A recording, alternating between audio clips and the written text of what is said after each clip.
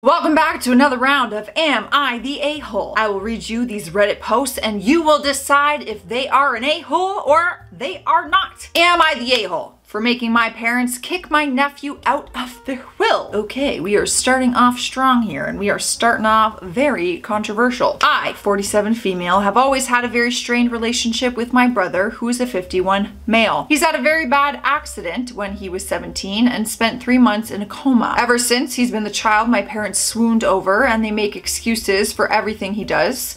I've been to therapy because of this for over a decade and I resented him for my parents forgetting about me when I was younger, even though I love my parents to death. My nephew, 31 male, has basically been raised by my parents as well. His mom passed away during childbirth and my brother lived with our parents till about four years ago when he moved in with his girlfriend. Because my brother is handicapped and doesn't have big motor skills, a lot of the childcare was taken care of by my parents over the years till my nephew moved out of state five years ago for his job. A couple of weeks ago, my parents were meeting with their lawyer to set up their will as they're both no longer in the best of health and want to make sure we are taken care of. The only big thing that they have is their house and car. They were talking about that they want to split the inheritance three ways. And I got confused and asked them why three ways considering it is just me and my brother. They said they wanted my nephew in there as well as they basically raised him since birth and consider him largely as their child too. I told them that's not fair as I have two kids as well. And if my nephew is in the will, they should be as well. My brother said what they are doing with their money is their business and I should stay out of it, but I disagreed. Eventually, my parents agreed and didn't give my nephew his share. My brother called it a giant dick move and called me petty to punish my nephew for the resentment I have towards him. We broke out into a fight that my parents have to unfortunately break up. My nephew called me a couple of days ago to check in on my youngest as he's her godfather. He had already heard what happened and said that it was a bit of a Karen move to do, but he's unbothered by it as it's none of his business. But my brother is still very upset with me and my parents are rather cold to me as well. Am I the a-hole here? Interesting. Truth be told, I think it is just, it is their will. That is their life. That is their money who they give it to, I think is up to them and I think it is their business. I don't know, like I don't, I don't want anybody telling me what goes in my will. That That's my life. That's my money. That's my inheritance. It's, it's going to whoever I choose. Let me know. Are they the a-hole or are they not? It does feel very Karen vibes. Am I the a-hole for not wanting to live with my brother? I feel like if I lived with my brother, we'd have so much fun. I love my brother. My brother has, okay, different story. My brother has, I was being playful, this is a serious matter. My brother has autism, therefore he does not understand boundaries. For example, I was bending over to reach something and he came up behind me saying, it's right there so I can touch it, then tried to touch me. He has also tried to kiss me and do various other things. My parents are divorcing, so I brought up the idea that me and my brother could alternate houses. So I live at my dad's while he is at my mom's, vice versa. However, my parents instead screamed at me and told me it was disrespectful toward them and my brother and I was being selfish and unfair. They know that my brother sometimes tries touching me and making inappropriate comments too. He's also very loud, rude, and annoying towards me, and I don't even see him as someone I particularly care about anymore. Oh my god, this is a lot more serious and intense than I anticipated. Roll out your opinions, you guys. I don't think you're an a-hole. That's just a very difficult situation because that's your brother that's family that's blood you're supposed to love and care for them i totally i see i see it i, I get the situation that is that's tough well, let me know what you guys think Am I the a-hole for giving my nine-year-old niece a tiny amount of alcohol? Oh my god. Talk about being a cool aunt. Well, if you're gonna drink hunky, Hunky, if you're gonna drink honey, I'd rather you do it in the house. That's what it reminds me of, Mean Girls. Cooking is one of my favorite hobbies and one of my favorite cuisines is Japanese. I don't have kids and honestly don't particularly like them, lol. But my brother and sister-in-law have a nine-year-old girl. Once every three or four months, she comes over to my apartment for a sleepover. Usually we'll get something to eat, watch TV, play with my cat, and then go to the aquarium or something before I drop her back off at my brother's trailer the next day. Lately, she's been getting into anime, so we came up with the idea to make a reasonably authentic Japanese meal together. This was the menu. Y'all, I'm gonna butcher this. I don't know. Tuna, bok choy, seasoned simply with salt, sesame oil, and sesame seeds, white rice, sencha. Okay, there's where I don't know what these are, you guys. I'm sorry, but there's a list of ingredients. I prepared this the day before since they have to marinate for 24 hours, and I used store-bought okapa since ain't nobody got time for that. But we made everything else from scratch together. Here's the thing, my sumono recipe is pretty simple and includes a list of ingredients, we had a good time, but apparently when my niece got home, she told her parents that she had alcohol. Okay, so one of these ingredients has some alcohol in it. And now my sister-in-law is pissy because I gave her child alcohol even though I use one tablespoon of sake per batch of sumono, 16 ounces, so two servings. The girl literally consumed half a tablespoon of sake. Okay, it's sake. That's not enough to matter at all. My brother sees my perspective, but is asking me to apologize just to get this blow over. But I don't think I should have to. It's not my fault that his wife is uncultured and doesn't understand that a small amount of sake is integral to the flavor of sumono. I might be saying that wrong. I'm sorry. I so badly want to be like, fine, next time I'll give her frozen chicken nuggets and Kraft macaroni and cheese. I'm sure she'll be used to that. But I know better than to make the situation even worse. But am I the a-hole if I refuse to apologize. Okay, this is not the situation. I thought you were trying to get crunk with your nine-year-old niece. You just baked or cooked something that involves a type of alcohol technically. Even if you feel like you don't have to apologize, I might personally just be like, okay, sorry. I didn't think it'd be a big deal. My intention was not to make you upset by cooking this beautiful meal with her. Like, I didn't think it was a big amount. Like, I would I would probably apologize just to blow this over because it's not worth it and like I wasn't trying to do anything wrong, but I don't think it makes you an a-hole for doing that at all. I don't know you guys, what would you do? What would you do? Because every parent has a right to be like, if they don't want, if they're not comfortable with that for their kid, then that is their right. Vaseline on my weenie. I'm 10 years old. Am I the a-hole for wanting to pay less than everyone in our Airbnb because I'm on a cot and they have bedrooms? Interesting. I just flew across the country to attend a bachelor party. The wedding party picked a house that's short a bedroom, so I got a cot. Everyone has been asked to prepare the $600 for two nights. I would have booked a nearby hotel had I known. Am I the a-hole? Should I just go along and not make waves?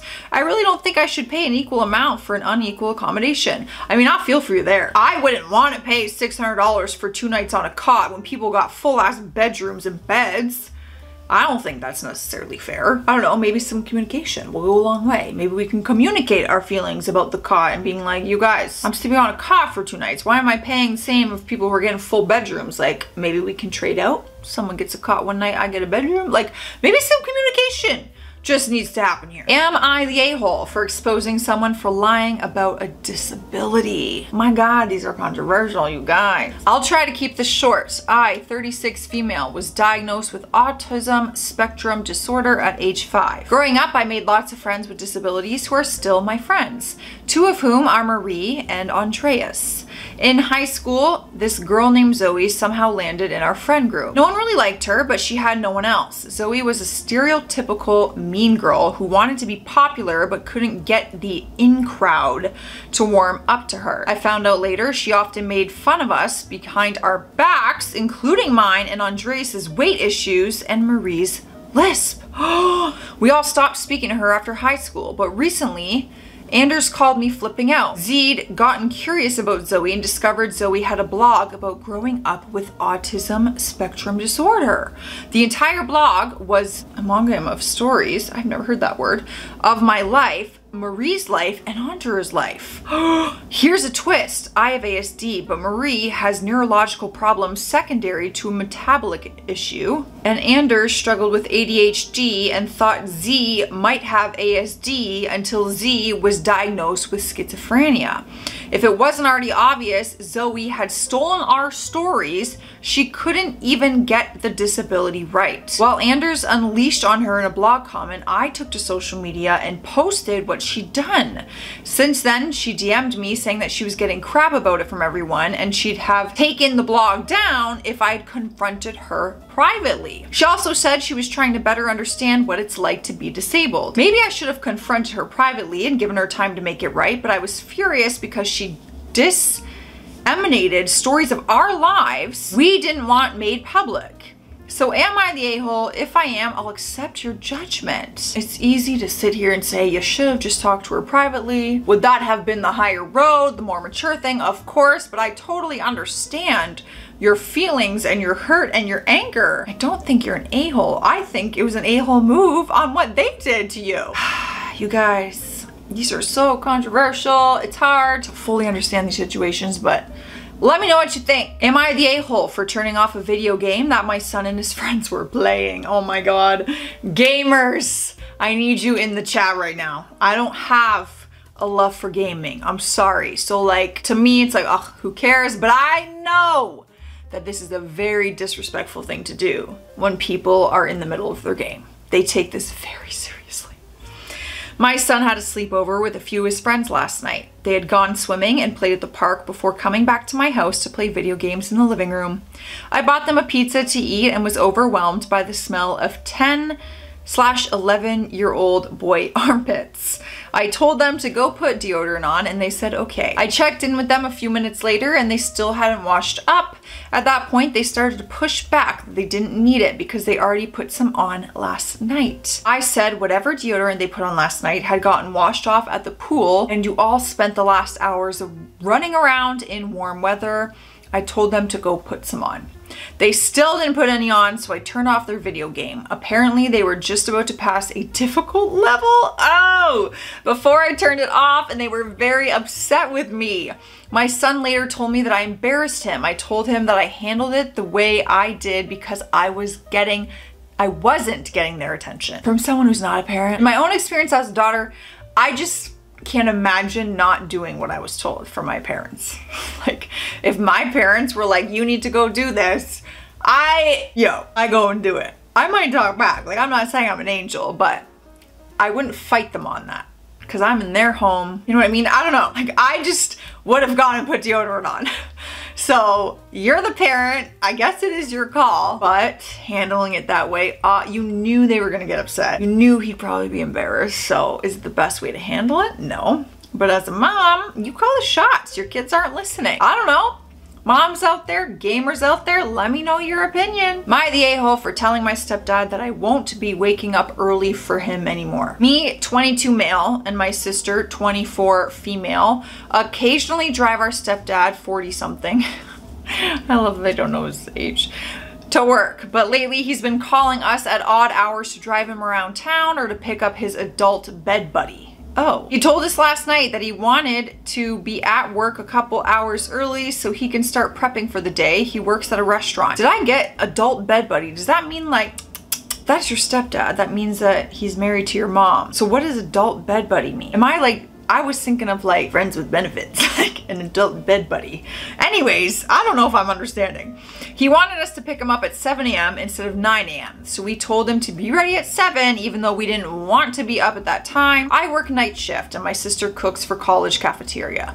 We go to pick him up and he's not even awake. So we try for 40 minutes to wake him up, but he's dead asleep. So we go back home to go back to sleep and he calls us at 9 asking where are we and I don't know if it's the lack of sleep but we both snap at him. We told him that he'll need to find a new way to work because we're both tired and my sister needs to get ready for her own job. He's mad at us for making him late and I've got to know, were we in the wrong here? No. He's literally in his 40s. He's an adult. That's his responsibility to be up at 7 a.m., go to work. If he said I need you to drive me at 7 a.m. No, I don't think you're in the wrong. I would have went home myself and put my ass in bed. All right, guys, that's another round of Am I the A-hole? I will see you guys the next round because we are gonna keep playing.